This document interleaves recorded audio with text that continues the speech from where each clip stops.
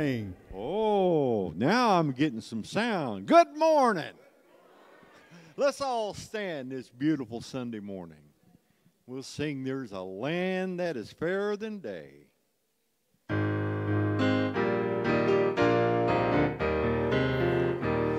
There's a land that is fairer than day, and by faith we can see it afar. For the Father to prepare us a dwelling place. In the sweet by and by, we shall meet on that beautiful shore. In the sweet by and by, we shall meet on that beautiful shore. We shall sing on that beautiful shore.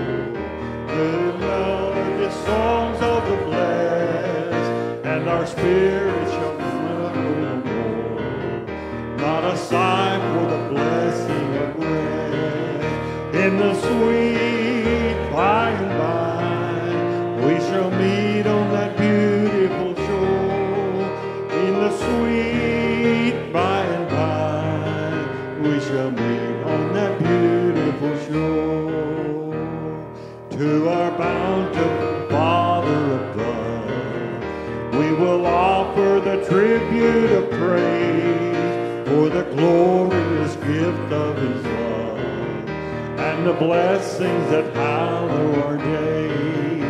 In the sweet by and by, we shall meet on that beautiful shore.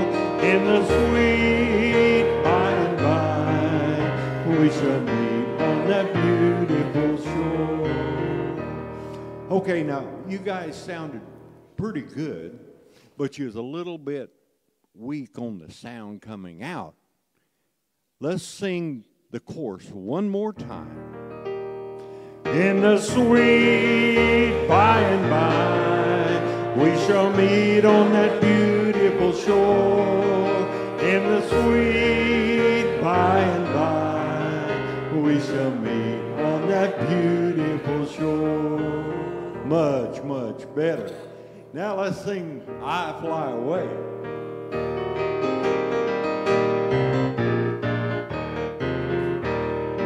Some glad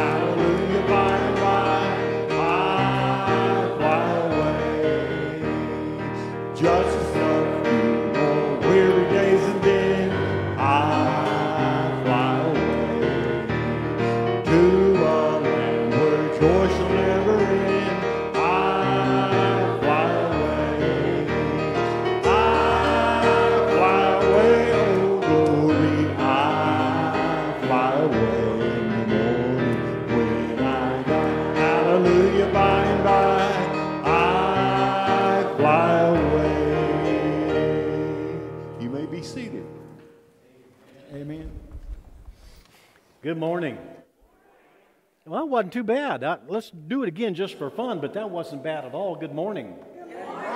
So good to be here at Calvary Baptist Church in Brenham, Texas. For those of you who are watching from home, we're glad to have you also. I am Pastor Billy Sutherland. It is a joy to be in the house of the Lord. I'm going to try that one again because some of you might not be quite woke up yet. So, it is a joy to be in the house of the Lord. And we would rather be here than in the best prison in the country. or in the best hospital in the country, or in a whole bunch of other places. So we're just glad to be here. And uh, it has been one year to the day that we started live streaming. And Derek has some pictures. I didn't happen to get them into the PowerPoint this morning, but I'll tell you what, we were using my iPhone smack dab right about where Tona is on a stand uh, to record the first service, and then we had an iPad strapped to a microphone thing back there, tie wrapped and velcroed, and and it, it just it. I tell you what, it was some rough beginnings, but we have come a long way. We've been live streaming for a whole year, and uh, we're getting good feedback from folks out there. We're being able to minister to people we would never be able to minister to otherwise. So uh, I just thought I'd let you know about that. Let's go to the Lord in prayer. And as we do this, let's just kind of draw a curtain. Those things that are outside in the world, the worries and concerns that you have, the things that are going on, that just, just kind of close them out. And Father, we just ask that you help us to focus on you, to focus on your word, to be listeners, and not just hearers, but also doers. Prepare us in this time to be the kinds of Christians that you want us to be, and we will give you all the praise and glory in Jesus' name. Amen. And Denise has a bunch of announcements. And you're going to have some help this time. Oh, I thought you were going to have some help. Good morning. Morning. So we have a wide open pew section over this way, social distancing over this way. But you can sit anywhere you want to. You know, if yeah, you don't have to. You can sit anywhere you want. And then please let your friends know that we are live on Facebook. You can share our live stream if you are watching from home. And then also please comment. The pastor does see those after the fact. And email, And email comments at calvarybrenham.org. and I do watch those. And then Pastor and men do meet Tuesdays at 10. And Pastor Bruce joins us for that. Pastor correct? Bruce joins us for that. Yes, absolutely. And the ladies' Bible study does continue this evening. They meet on Sunday evenings at 5 o'clock in the small fellowship hall. And I think they had a great turnout last week. Good. I just noticed Jody over there. Yes, I'm glad she's Hi. Jody. She's limping much better, more mobile. Good to have you back in the house. And then Wednesday night, sandwiches and fellowship at 5:45, live stream 6:15 to 6:45, and in-house wrap-up 6:45 to 7. And after Easter, we'll start with our regular, like we used to do. Yes, and we have meals. a sign-up sheet for meals if anyone would like to help with those. And then next Sunday is Easter. we will not have Sunday school, but we will have our resurrection breakfast at 10, resurrection egg hunt at 10:20, and then resurrection worship with the Lord's Supper at 10:45. It is about the resurrection of Jesus. I, I like to stop using the word Easter because Easter has just become so cotton picking commercialized. It's about the resurrection of Jesus Christ from the dead. And we have scheduled our spring car clinic for Saturday, May 15th, 8 a.m. to 11. We changed that up just a little bit from last time because we had people show up really early last time. So if it goes later than 11, we'll stay, but You know what this one is? um, no. I threw one in there. Children's Sunday School is going to start up again, and uh, after Easter. And where's Jen? Jenny, why don't you wave? Jenny is going to be teaching Children's Sunday School. We're going to get her the roster. Um, if your kids want to come and you're not quite ready to come to Sunday School, we'll pick them up. And we were talking this morning. We're also going to do a puppet ministry. Oh, that's awesome. Calvary had one way back when. we have puppets. There's too. all kinds of stuff up there in that Yes. room. We have puppets that So, were uh, donated. yeah, that's going to be exciting. We're getting ready to do that. All kinds of fun stuff. And then we will receive the Annie Armstrong offering through Easter. We figured we would go ahead and extend that through next week. We have collected or received 591 to date. And then make sure you check us out at calvarybrenham.org for the latest news and updates. All righty. And children, come forward. Children, come on ahead.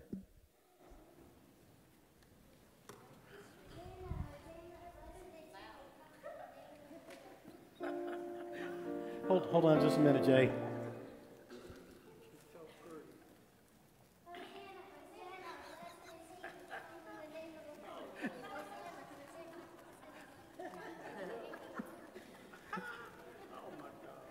Okay. All right, kids, that's enough. Hush, quiet. Uh, I'm sorry, what? Come up here and tell me that. if we be quiet, the rocks will cry out. now, we're going to we're going to have to practice this better for next year because I told them they're allowed to yell. And that, that was kind of quiet. It's the one time a year that we encourage our children to yell in church. And what were you yelling quietly? Hosanna, Hosanna. Hosanna. Because why are we yelling Hosanna? Jesus is coming into the city of Jerusalem as king, and that is what Palm Sunday is all about. The people were the what? On a donkey? Yeah. And I saw on Facebook there was a cute little picture of two donkeys, and one of the donkeys was saying, You know, last week Jesus rode into Jerusalem and everybody was watching me, and now no one even recognizes me. And the other donkey says, That just goes to show without Jesus, you're nobody. What? That's not true. That's not true, but it's kind of cute. That's not true. You are somebody, aren't you? I'm sure glad you got that. So it's all about Jesus riding into Jerusalem, triumphant, because he's going to be the King of kings and Lord of lords. But what happens after Palm Sunday? Does anybody know throughout the rest of the week? Easter. Easter happens after? Um, the, fi- the Last Supper. The Last Supper happens in that week? The resurrection happens? But what happens before the resurrection? He died on the cross for our sins. Good Friday. She said Happy Friday, but Good Friday. We're happy because because Jesus died, we can live again. Anybody else got anything else to throw in there? All kinds of things happened. It was a busy, busy week for Jesus, and we're going to be talking about that in our sermon this morning.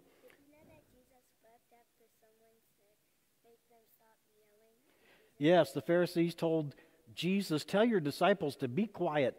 And Jesus said, If they be quiet, then the rocks will cry out. That's, yeah, that's why you were saying that coming up the aisle. Very good. Anybody else have something you'd like to preach this morning? You've been awful quiet this morning. You got anything you'd like to add? No?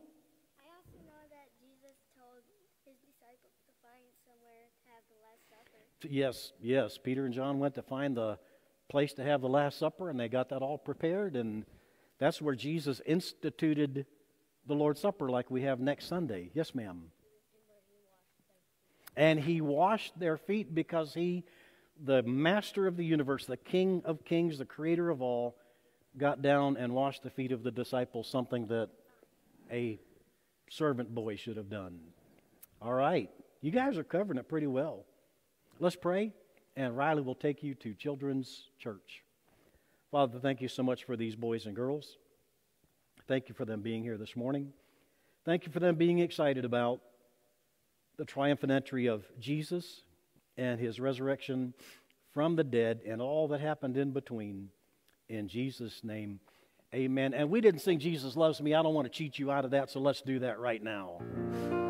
Jesus loves me, this I know, for the Bible tells me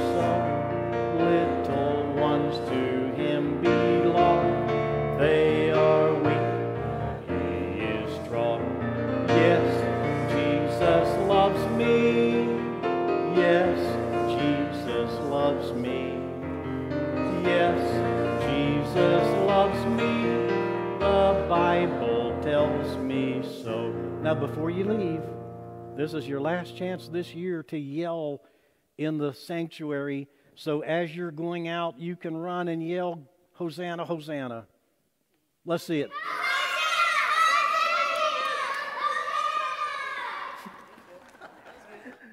Amen.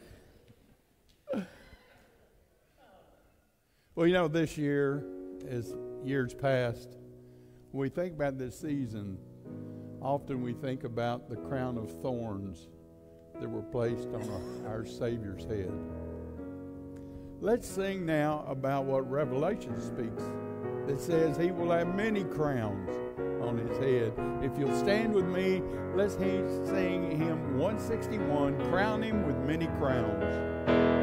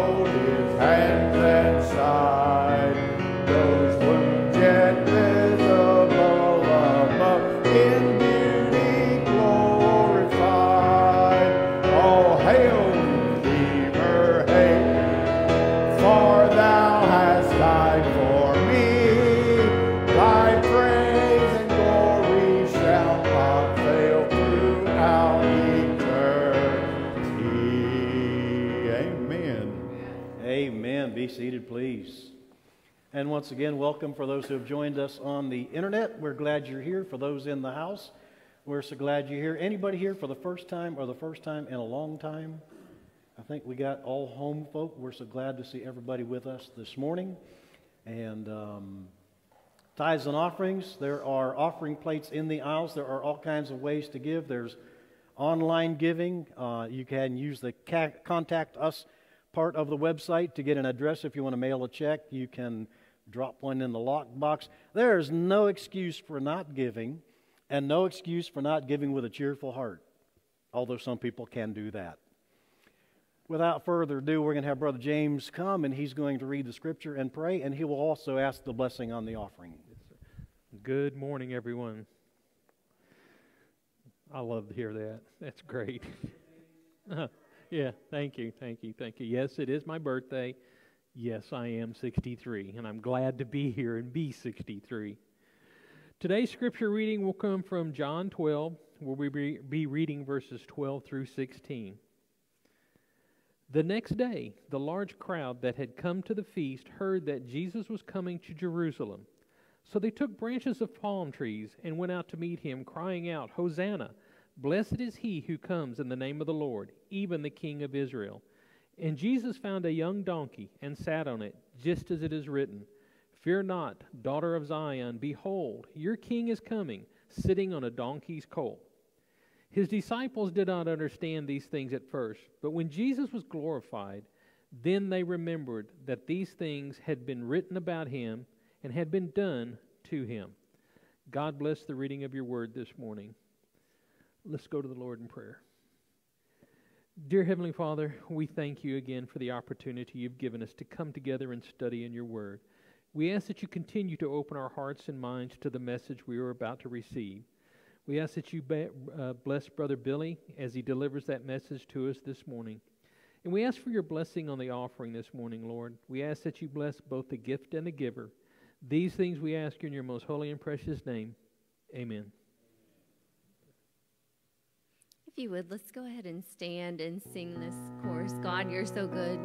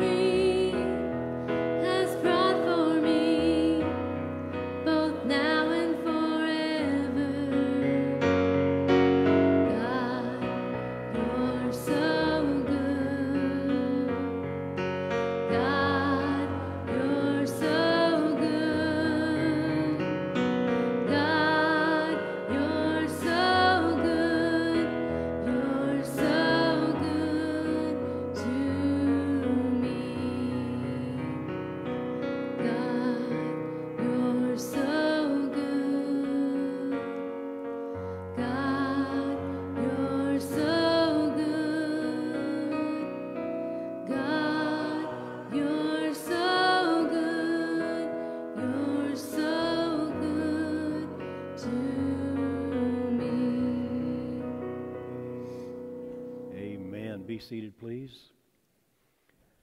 Our high priest and king, and the final sacrifice, Hebrews chapter 5. Go ahead and open your Bibles to Hebrews chapter 5, and then also open to John chapter 12. And either stick your finger in there or a gum wrapper or something, or if you have a ribbon in your Bible like I do, you can put a ribbon there in John chapter 12. We're going to be looking at Hebrews chapter 5, finishing up that chapter that we started last week and uh, going from there. Remember that Hebrews was written to Jewish Christians, and I believe that it was written to particularly Jewish priests. And I think we'll see some encouragement there that would apply directly to the priests. Much discussion of the priesthood. Jesus is Christ Messiah. And Christ, of course, is a title. We say Jesus Christ. We could just as easily say, or more correctly say, Jesus the Christ, Jesus the Messiah, Messiah as high priest. He's above all the priests of the Old Testament, above high priests in the New Testament. And then we get to this warning of apostasy at the end of chapter um, 5. Last Sunday, we introduced to Melchizedek, so let's just real quickly review the 10 things that we know for sure about him. We don't know a whole lot, but these things we do know. Only three books of the Bible mention Melchizedek, and you can pronounce it. I asked somebody, somebody after church last Sunday asked me if, if we were pronouncing that correctly. I've heard people way smarter than me pronounce it different ways, so however you want to pronounce it, the fact is that uh, these are the 10 things that we know about him. The New Testament says more about him than the Old Testament does. We know that he's a contemporary of Abraham's. We know that he has no recorded family. Uh, he, he could have family, but the Bible doesn't record it, doesn't tell us who. He was a priest of the God Most High, or the Most High God. He gives blessings, or at least we know one time when he did.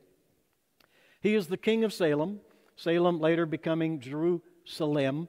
Jerusalem. Uh, name means king of righteousness. Well, if that doesn't sound like Jesus. The order of Melchizedek is royal and everlasting. So Christ is the high priest after the order of Melchizedek. Some people push that into that this was a type of Christ. I don't necessarily believe that. I believe there was the order of Melchizedek, that royal priesthood, and Christ is superior even to that. Melchizedek was greater than Abraham and Aaron. So, quite simply, Jesus is superior to the Old Testament prophets, to the law, to the priesthood, to the prophets, even to the order of Melchizedek. He is a prophet, priest, and king. He supplies every need, he answers every question, he fits every role. So, we had been talking about Melchizedek in chapter 5 and how Jesus is even superior to that, to the high priest, that Jesus is the great high priest. And then it's, it's as if the writer of Hebrews just kind of takes an inward groan because he goes on. Oh, you know, I mean, we're on a roll, and there's all kinds of good things and praiseworthy things and, and wonderful things. And then all of a sudden, we come to verse 11. And about this, we have much to say. And it is hard to explain since you have become dull of hearing. D- does that describe you? I'm, I'm not accusing. I'm just asking you to think in your own heart Am I dull of hearing?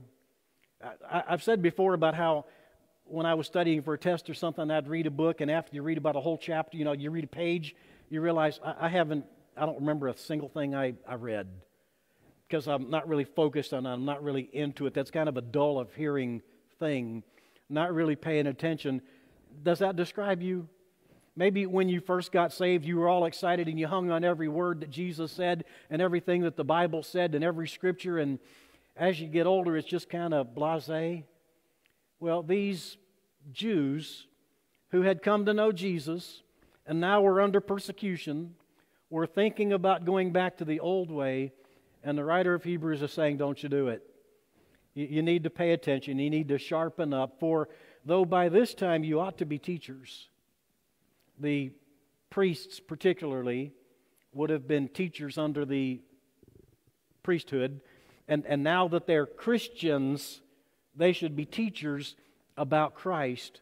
And they're being reminded to do that. For you ought to be teachers. You need someone to teach you again the basic principles of the oracles of God. You need milk and not solid food. Boy, that's a that's a declaration, isn't it? Uh, who who consumes milk? Now, I'm I'll be first to admit, you know, my my wife bakes a batch of hot chocolate chip cookies. I want a glass of cold milk. I, I, I like to drink milk. I've discovered almond milk. Jenny and I like that. But I like milk. But I don't live on milk. I like the meat. I like fajitas. I like steak. I like all kinds of other things. Of the oracles of God, you need milk, not solid food. For everyone who lives on milk, who lives on milk, babies, is unskilled in the word of righteousness since he is a child. But solid food is for the mature, for those who have their powers of discernment trained by constant practice to distinguish good from evil. And this is something that the Bible repeatedly tells us. We need to try the spirits to see they be of. Don't just listen to everything that's out there. There is so much nonsense going out over the airwaves. There are so many false teachers that are out there. There needs to be this discernment about what is true and right. And this is the standard for that. If it is something outside of the Word of God, you need to be suspicious of it. So the king, looking back, this had already happened, and then the gospel of Christ was spread, and some Jewish priests got saved. We find that even in the Gospels. And they know the history of what Jesus was all about, that he is Messiah. They know all about Messiah in the Old Testament. They have come to the place where they believe that he is Messiah, but now they're in this situation where they're thinking about turning back.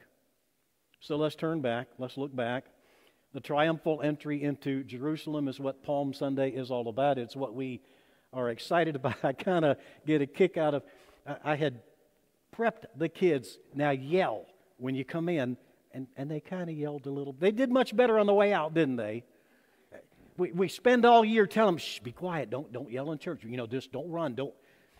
So it's kind of hard that one Sunday a year they're allowed to run and yell and holler and there was that going on. The crowds were yelling. They were yelling, Hosanna. Jesus comes in riding on a donkey. The crowd praising and shouting. And then there was that rebuke of the Pharisees that my friends here reminded us about. That they said, Tell your disciples to be quiet. And Jesus said, If I were to able to get them to quiet, the rocks would cry out. So just kind of enjoy the time here. Jesus is a divider. Now, I flashed that rather quickly. Let me go back there because that's important the danger of what would Jesus do. Remember, we were in that big phase. Some of you might even have the bracelet on that says, What would Jesus do?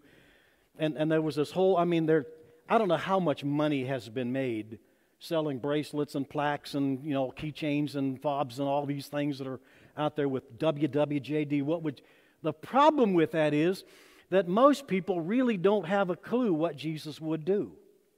They don't know who Jesus is. They've boiled Jesus down to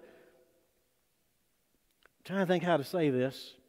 In many pictures, you know, we don't have photographs of Jesus, so people have come along different times and they've, you know, images of Jesus, and, and some of them he looks downright sissy. I'm just going to say it. And, and he's not a sissy, he's a man. He's a man's man. For anybody to have taken the crucifixion the way he did and survive up until he's on the cross, all of the beating and all of the scourging and everything else that he endured he was a man, but he's also a divider. And he says this in Luke chapter 12, verse 51. We're not to John 12 yet. This is Luke 12. Do you think that I have come to give peace on earth? No, I tell you, but rather division. I'm, I'm going to be a contentious figure. There are going to be people who can't agree on who I am. I'm going to cause people. He is the divider. The calendar, first of all, is divided by Jesus there's that time before Christ and there's that time after Christ. And, and the world, I remember when they first started teaching us, we can no longer say BC before Christ. It's going to be BCE before the Common Era. We, we don't want to reference Christ at all. There's just this time period that their calendar goes backwards that way and it goes forward this way, and right in the middle of it is Jesus Christ. He divided the calendar. Humanity he said, You're either for me or against me. Humanity is divided over him families, marriages, friendships. There are the two things that people say don't talk about when you're at a social gathering, you know, politics and religion. Both of them can get you in trouble. And in the last couple of years, it seems like they've kind of crossed paths. And if you're going to talk politics, you're also going to talk religion. It's a kind of a contentious thing, and people are split over it. He divides the sheep from the goats, he divides the wheat from the tares, he divides the good fish from the bad fish. In our sermon from Matthew 13, Wednesday night, we talked about the net and the good fish and the bad fish are sorted out on the beach. He divides the saved from the lost. Well, you actually decide that by not accepting Jesus as your Savior. But uh, in the end, in those examples of the wheat and the tares and the fish, it says, At the end of the age, the angels come and they sort it all out. It's all divided because of who Jesus is. And in the section that we're going to look at, go ahead and turn to Gospel of John, chapter 12. In the Gospel of John, we're going to see some extremes here. We're going to see extreme hate and extreme love. We're going to see the Pharisees hating Jesus to the point that at the end of chapter 11, they actually get together and they're conspiring and they say, Do you think Jesus is going to come to the feast? Let's put out the word that anybody who knows where he is will pay them to let us know so that we can catch him. The Pharisees, and then there's Mary who breaks the alabaster thing and puts the perfume on Jesus, and we'll get into that in a little bit. There's Judas and Lazarus, two extremes that we have there in this passage. We have uh, shouting Hosanna and then just a little while later, the crowd is probably many of the same crowd shouting, Crucify him. We have honoring the king, and then we have killing the Savior. You look at the extremes that we have just in this short Passion Week or Holy Week. We have Peter who confessed, You are the Christ, the Son of the living God, and boasted, Even though everybody else turns away from you, I'll be the one and then we see Peter cursing and swearing, and I don't even know the man. And then the light, Jesus Christ, goes into the dark of the tomb. And all of that happens in just this short period of time. So, John chapter 12, verse 1. Six days before the Passover, Jesus therefore came to Bethany. Lots happens in Bethany, where Lazarus was born. If you were to go to Bethany in Israel today, and you were to mention Lazarus, oh yeah, this is the town of Lazarus. This is where he was risen from the dead. This is so much important thing about Lazarus. And um, where Lazarus was, whom Jesus had raised from the dead. Somebody told me one time, Lazarus' middle name is comma. Every time you see Lazarus, it's comma, the one who Jesus rose from the dead, just like Jesus, just like Judas, rather, comma, the one that betrayed Jesus. There's always those descriptors, it seems, around them where Lazarus was, whom Jesus had raised from the dead. Very important point. So they gave a dinner for him there. Martha served, and Lazarus was one of those reclining with him at table. Now, this is the evening meal. Work is done. It's not in a hurry. You know, lots of times we get home from work, and I remember when I was a kid, mom would be cooking supper all day, you know, and we come home and it's over in about 16 minutes. I spent all day cooking and you wolf it down and you're out to play or you're gone or whatever. The evening meal should be the time where you slow it down and you have an opportunity to talk and you talk about your day and problems and maybe even have the family devotional. There's that time. That's what this is designed for. It is the time to catch up with what's been going on throughout the day. That's what the meal was designed to do. And look at who is there. Martha served. Martha is a servant. She is in this role. And I'm going to go to bat for Martha a little bit. There are people that kind of denigrate. You know, she was, Mary was the one who was the spiritual one, and Martha, she's just the. Serving is a very important role in Christianity. As a matter of fact, when it describes what Martha was doing, it is the same word from which we get deacon. She was serving. Serving is an honorable thing. When Jesus washed the feet of the disciples, he was serving when we go to that marriage feast of the Lamb in heaven, Jesus will gird himself and serve us. Serving is a very honorable thing. So if your name is Martha, and, and people say, Martha, Martha, you know, and they're kind of, don't, don't, don't buy that. Martha is a very important character. Serving is a very honorable thing. Uh, and Lazarus was there reclining with him at the table. Now, this is not the same event that was in the house of the Pharisee. This one, the Bible tells us, was in the house of Simon the leper. Now, think about that a minute. If he were still the leper, they wouldn't be having dinner in his house. This is not the house of Mary, Martha, and Lazarus. This is the house of Simon the leper. And, and they're there having dinner. I would have to say that Simon at this point was no longer a leper. And this is one of those times that I can't tell you, thus saith the Lord, but I can tell you that this kind of really makes sense. I think that the reason that Simon is no longer the leper is because Jesus had healed him. And that's why he's inviting them to his house.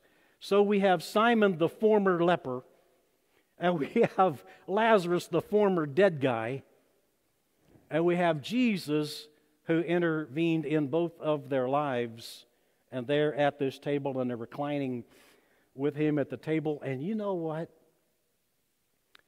The religious leaders of the day hated Lazarus. Because Lazarus, everywhere he went, he told his story. Oh, you must be Lazarus. You're the guy that was dead and came back to life, and Jesus did it. And we'll see as we go along. So they gave a dinner for him there. Martha served, and Lazarus was one of those reclining at the table. Mary therefore took a pound of expensive ointment made from pure nard and anointed the feet of Jesus and wiped his feet with her hair. In the Pharisees' house, it was the prostitute who did that, and they mocked Jesus and said, If you're such a great prophet, how come you don't even know that this is a prostitute that is ministering to you there? Well, this was Mary. The house was filled with the fragrance of the perfume. Verse 4 But Judas Iscariot, comma, one of his disciples, he who was about to betray him, there's always that tagline for Judas, said, Why was this ointment not sold for 300 denarii and given to the poor? Let me tell you something about Judas. Judas, I think, is a classic example of somebody who knows the price for everything, but the value of nothing. There are people like that. They, they, they know the price of everything. They're, they're so conscious of, of what can be bought and how much it costs. But so many of these people who are well aware somebody buys a new car, oh, you must have paid, you know, and they name the price. They know the price of everything and the value of nothing. And I think that's who Judas was. And he says, we could have taken that money and given it to the poor. Now, here's something interesting about Judas. A lot of the times I have to stop and say, now this isn't in the Bible, but this is what I think, right? I've told you that many times. And, and every time that I can't say, Thus saith the Lord, or Thus saith the word of the, of the, word of the Lord, I stop and I, and I make that disclaimer. I don't have to do that here. I can tell you that Judas was a rat. I can tell you that Judas was a thief. I can tell you that Judas was a liar. Because we're going to see some more about that as we go on. He didn't care about the poor, he cared about money going into the purse that I hold, from which I can take for my own need anytime I want. Why was this ointment not sold for 300 denarii and given to the poor? He said this not because he cared about the poor. Isn't that great?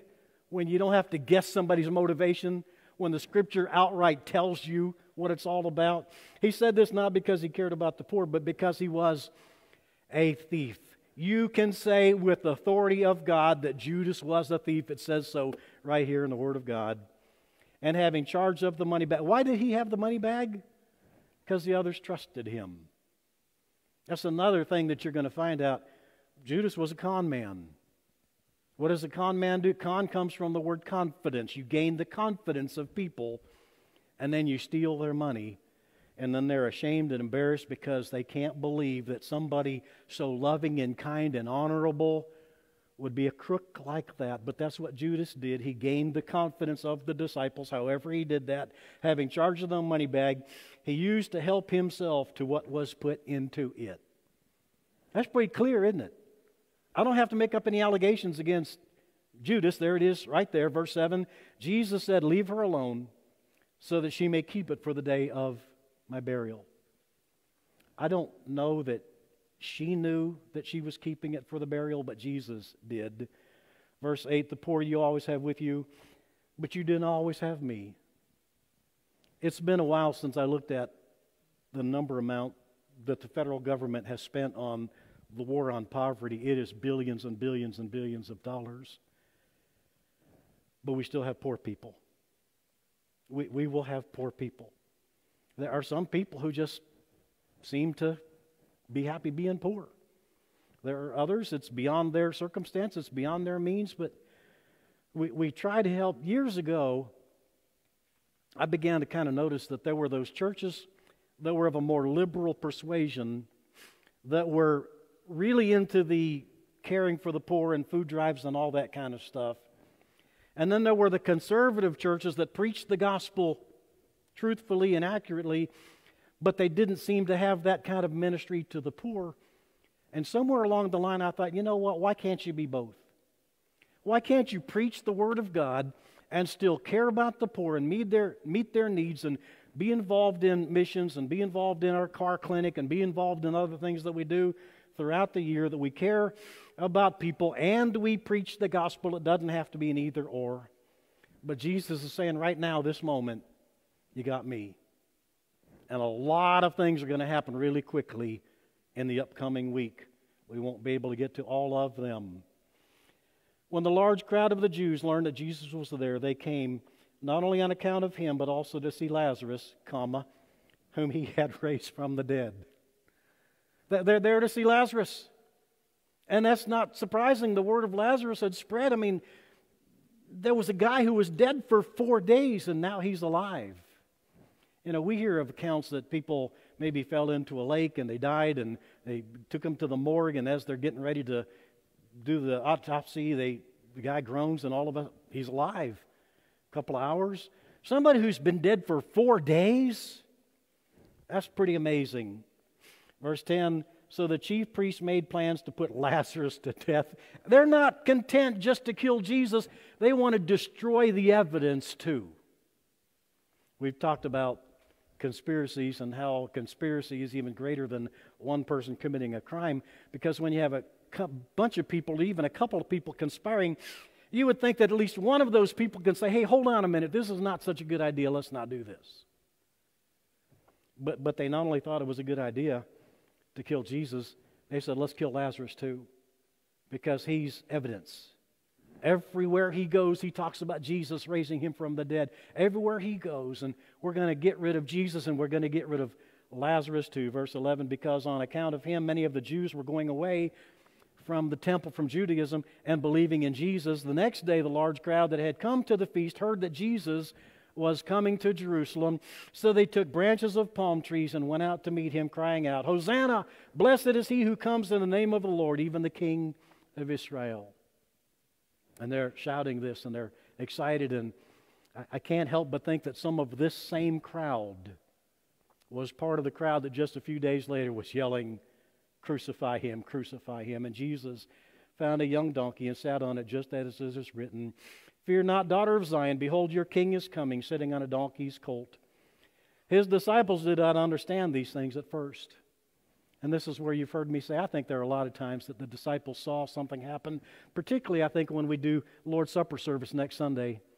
I think that as Jesus was repurposing Passover meal into the Lord's Supper, I, I, can't help but think that the disciples said, Well, that's odd. He, normally we would do this, but he's doing this instead. And when he takes the bread and he breaks it and says, This is my body, with, I'll bet there were times that the disciples thought, that's weird. Don't know what that means. And then later on, when they began to put things together, they said, hey, you know what? When Jesus picked up that bread and he broke it, the unleavened bread, because leaven represents sin and he's the sinless Savior, when he said, This is my body, that's what he was saying. Then they remembered when these things had been written about him and had done to him. The crowd that had been with him when he called Lazarus out of the tomb and raised him from the dead continued to bear witness. The reason why the crowd went to meet him was that they heard he had done this sign. John talks about seven signs. Other scriptures, other gospels call them miracles or great works or great and mighty works. So the Pharisee said to another, You see that you are gaining nothing. Look, the world has gone after him. Palm Sunday, It's all about Jesus. It's about his triumphant entry. It's about kind of that moment where the fate is sealed and the Pharisees decide, you know what, we can't let this go on anymore. And the course for Holy Week is then set. The most famous person ever to visit the planet. Years ago, I took our youth group to a big youth rally, and there were some actors there who put on this play. And in this play, some aliens came from another planet. You like it already, don't you? Aliens came from another planet and they made contact with some people on earth and they said, We have come to find out who is the greatest person who has ever lived on planet earth. And I don't remember all the characters, but one of them said Babe Ruth. Well, who was Babe Ruth? Well, he was a baseball player, you know, and they described base. Well, what is baseball? And they tried to describe baseball, and okay, that wasn't working. Maybe he wasn't. How about Hank Aaron? Because he beat Babe Ruth's home run record, and the alien said, You, you mean Babe Ruth was running around and, and, and, and Hank Aaron passed him? No, no, that's not. Okay, forget that. Abraham Lincoln. So they tried to describe Abraham Lincoln and how he freed the slaves. Well, wait a minute, what are the slaves? And he talked about, you know, slavery. And he says, You mean that you people on this planet actually bought and sold people? Okay, well, wait a minute, that, that might not be. And they kind of stumbled through this, and the aliens were getting a little impatient. They said, There has got to be somebody on your planet who was the greatest, most famous. And one of the guys finally said, That has to be Jesus Christ. And the aliens got all excited and they said, Wait a minute. We know who Jesus Christ is. He's the Savior. He's the Son of the Most High God. He's the one who saves. He's the one who gives forgiveness. He was actually on planet Earth. And they said, Yes, he was here on planet Earth. And they said, This is the most amazing thing. I'll bet you had a party. I'll bet you, I'll bet it was exciting. I'll bet things were tremendous. And they talked about the palm branches and they talked about Hosanna, Hosanna, the King in the highest. And and they talked about all that, and the aliens were excited, and they says, Boy, this is great. This is what we came to hear. And then what happened next? And it got real quiet. And the alien said, What, what, What's the matter? What, what did you do next? And they said, We killed him. We killed him. We killed the Son of the Most High God we killed the God man, Christ Jesus.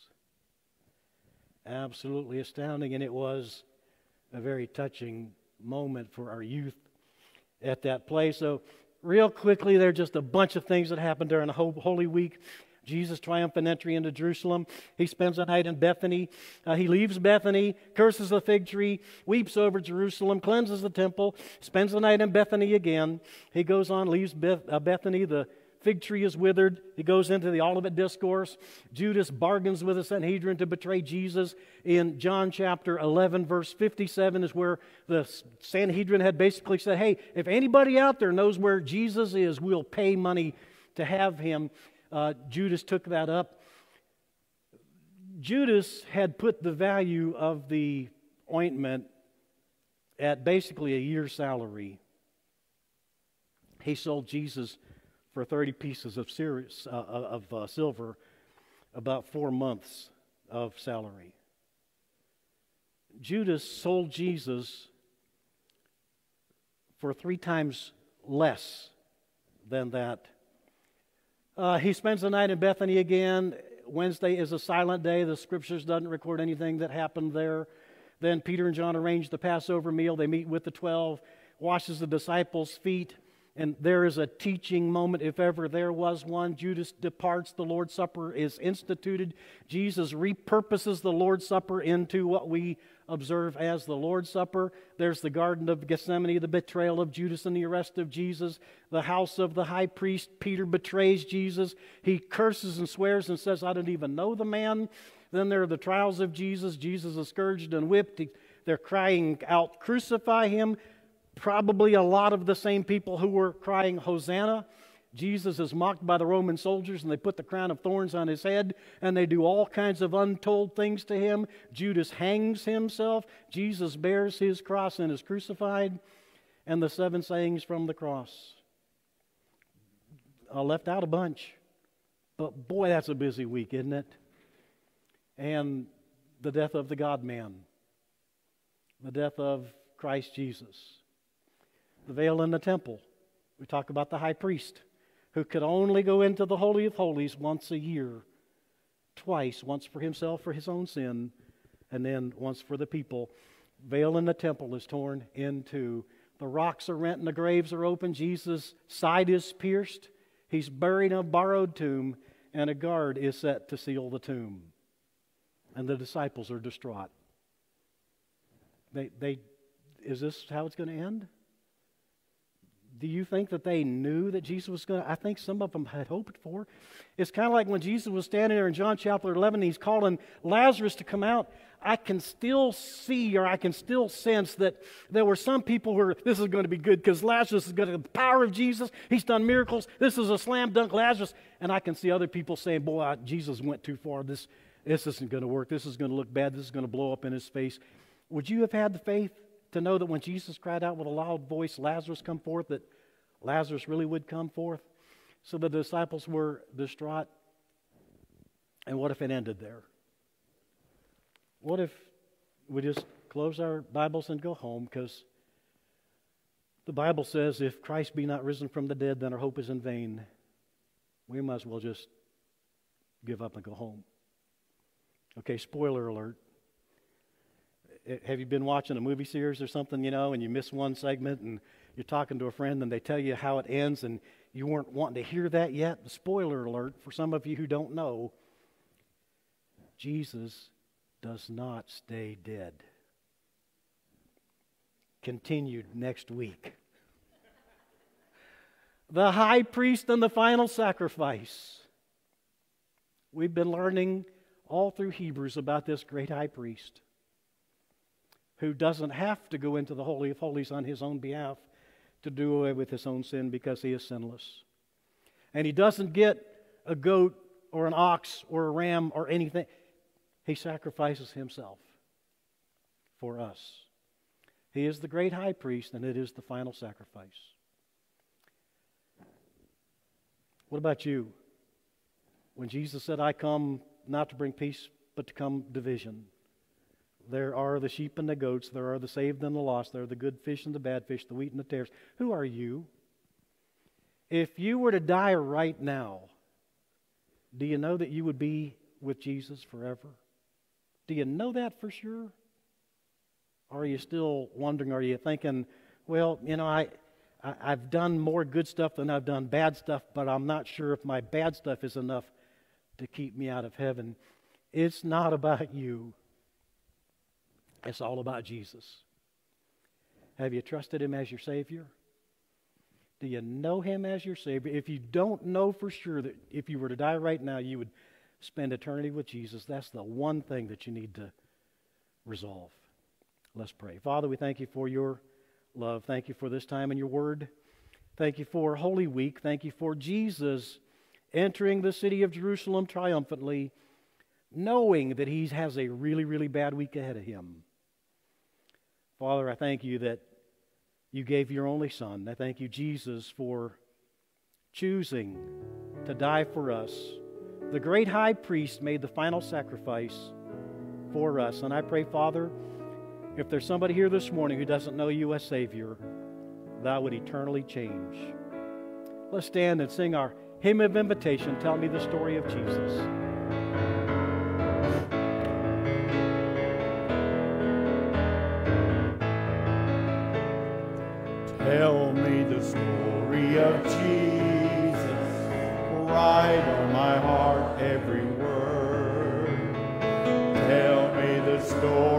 Story most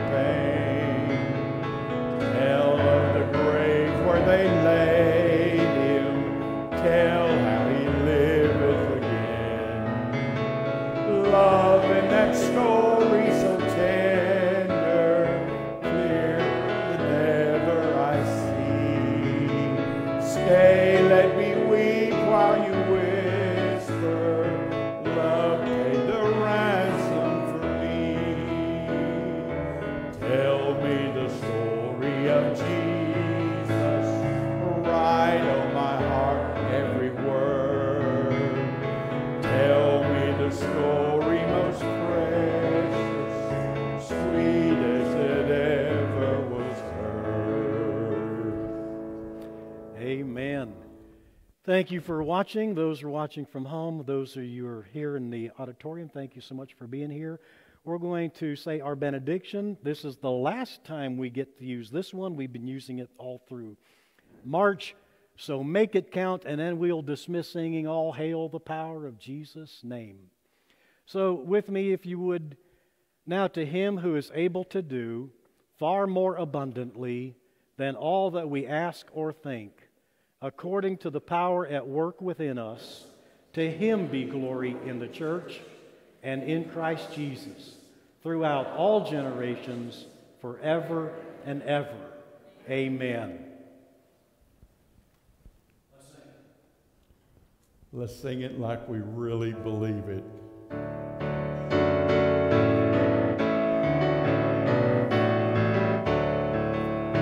All hail the power